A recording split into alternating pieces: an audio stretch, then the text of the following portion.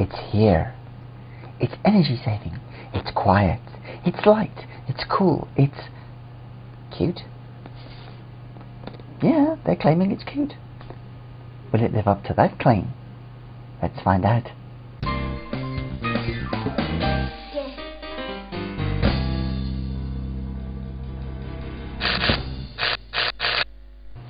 My last real run-in with this form factor was back in January 2010, about two years ago. The vast majority of them were running Intel Atom chipsets, which wasn't too bad for the processor itself, but that also meant that they were running Intel graphics chipsets, which was a bit of a pain for Linux users, and if you wanted to run Unix, well, good luck with that one. There was also another issue, which was most of the atoms at that time were 32-bit. 64-bit atoms were just coming onto the market. That meant if you were running a 32-bit processor, you could only connect up to a maximum of a 1.5 terabyte drive.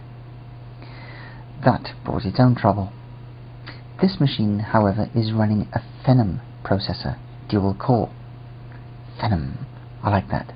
Sounds sexy. Ah and it's also backed up by a Radeon card. It's backed up by a Radeon 6310. It does have its own issues, but we'll come to that in a minute. Let's get the cover off and have a look inside. Okay, so let's have a look at what you get for your money. First is the unit itself. Not bad, quite sexy looking. You also get two feet. Now these are to go underneath it if you decide to mount it sort of standing up like this, you'll note that there are screws underneath to adjust the width. If you want to uh, mount it um, horizontally, then this will come in handy because there's some uh, little feet in there along with some uh, screws. You get the uh, driver CD, a SATA cable and a manual. In this case it's the ASRock E350M1. Now this is going to be a bit of a an experience for me. It comes in numerous languages, about 10 or 12, something like that, and as you can see by the thickness of the manual, it's not very detailed. You also finally get the power supply. Now this, uh, they've thrown in uh, a cable with a UK plug on the end of it, which is very thoughtful of them. They haven't been wasteful, as some companies are, on throwing in a number of different plugs. And this one is also fitted with a 5 amp fuse, which is pretty sensible. They could probably have got away with a 3 amp, but what the heck, 5 amp will do just fine. So, let's take a look inside. Three screws at the back is all it takes for the top to slide off, revealing the hardware. At this location is the hard drive mounting bay which is secured by three screws. That easily comes out. What you're left with is quite a well laid out board I believe. Um, the hard drive is at a reasonable distance from the graphics and central processors and underneath the hard drive bay itself is tucked a load of mains cables. So that's probably what the extra SATA cable is for because the one SATA cable that's in here is going to the front panel. So to fit the internal one you'll need the other SATA cable that came in the bag. You can also see some cabling here which is going to the front and on the sides are actually two sets of ports.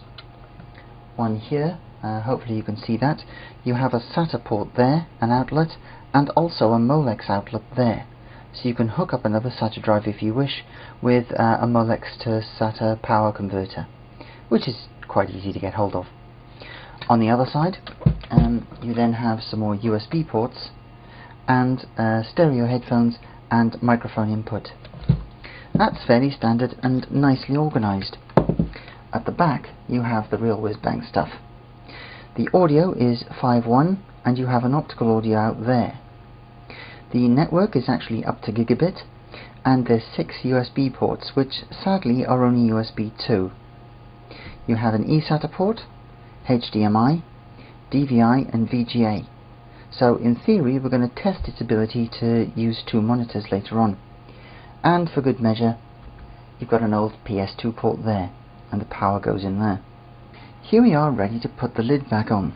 Fortunately for me I had a shorter SATA cable because this one really is way too long. Indeed the amount of uh, actual cabling in there is a bit ridiculous and it was a bit of a fight to get this uh, properly seated again but there we are next it up is to uh, power it up and uh, see what happens okay here it is we've got it hooked up to a set of loudspeakers it's also hooked up to the network and you can see a standard keyboard and mouse there so the blue that you can see in the grill is always on so long as it's got power uh, this here indicates that the unit is on, so it is on, and we're in the BIOS, as you can probably see here. Let's see if I can get you a better look at that. It's quite a nice looking BIOS. Uh, you obviously need the mouse to control it. You can see that it's saying it's got uh, 4 gig uh, of RAM. I've shared the memory.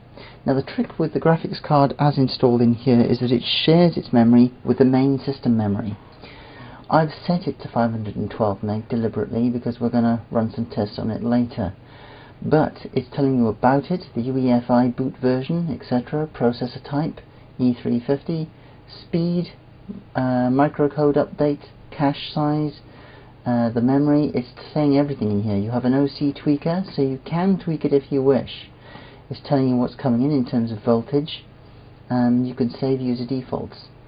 Advanced, you have CPU, North and South bridge configurations, storage configuration, Super I.O. configuration, uh, whatever the heck that is, ACPI, USB configuration, um, and there's an instant flash uh, ability in there. Um, hardware monitor, you can see the temperatures, fan speed, we're currently, and you've got control over it. Uh, CPU fan setting is in automatic mode.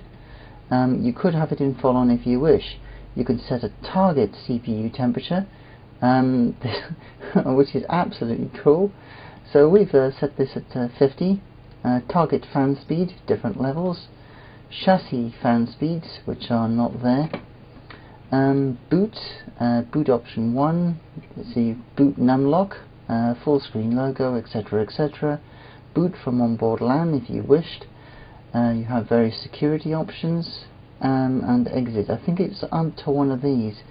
Um, where are we? Southbridge configuration was it? Yeah. Southbridge contains things like your onboard LAN, etc. And there is one of the key things I was looking for.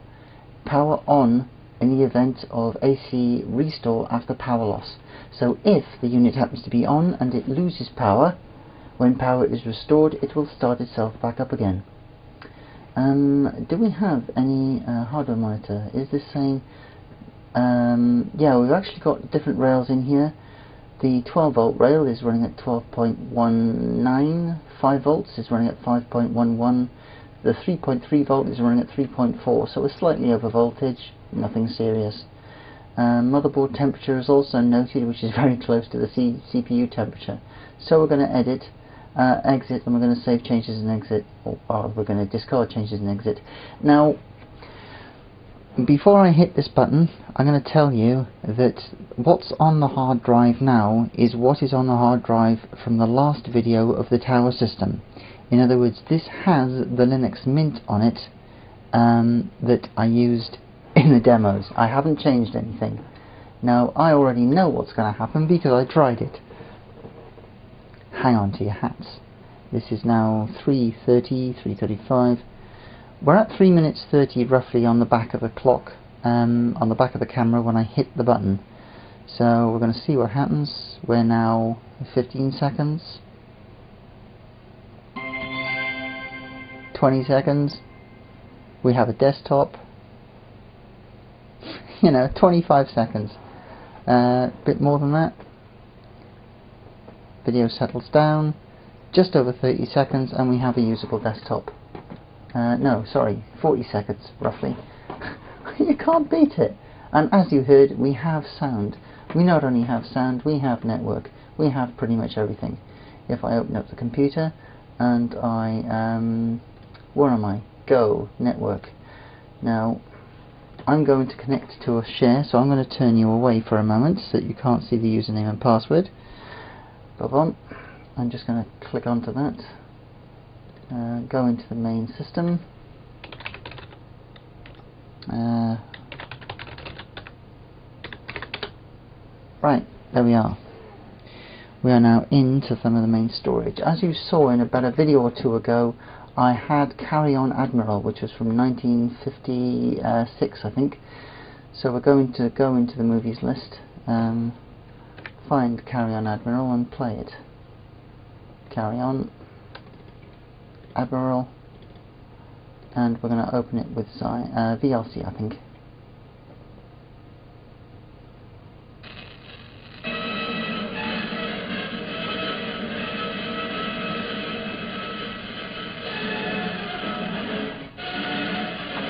Why it does this, I don't know.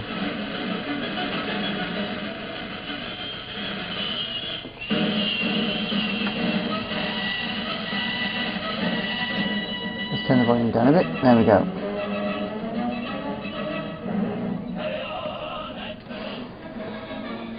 Now that is playing uh, a standard ripped DVD perfectly happily, as far as I'm concerned. As well as doing that, we're going to open it with another one. Stand by.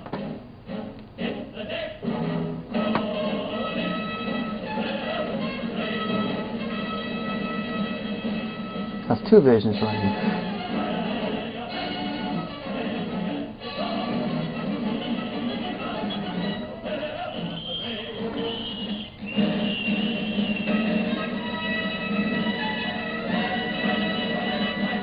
I'm going to cut the sound on all these and you can get a sort of a feeling for this. Uh, have I paused that? No, it's running. Now we are starting to stutter playing about three of these. Um, I'm seeing problems as you can probably see there as well. But it seems to be able to play. Uh, let's kill one of them. Let's bring that down a bit. There we have two instances of this and it seems to be playing perfectly happily. Uh, let's have a look at the, if I can find, um, where is it? oh, I'm not used to Mint.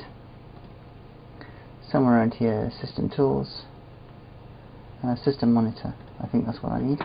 And let's get rid of that. So, processes, resources, um, it's playing two of them and the resources, each core is at roughly 80%. Let's just zoom in on that so you can see what's going on. Okay, roughly between 80-85%, that's roughly whereabouts it's bouncing.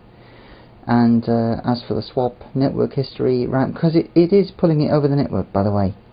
It is pulling it over the network and it is connected um, it's pulling it it just peaked there at uh, half a gig I think.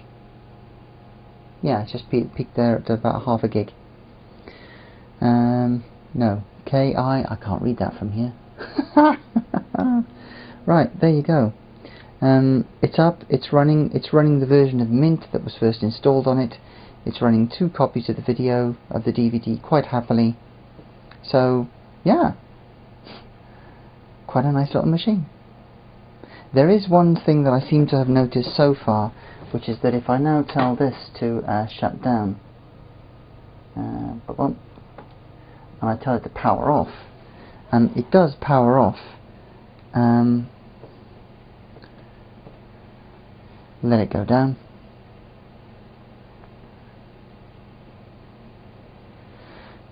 Yada yada.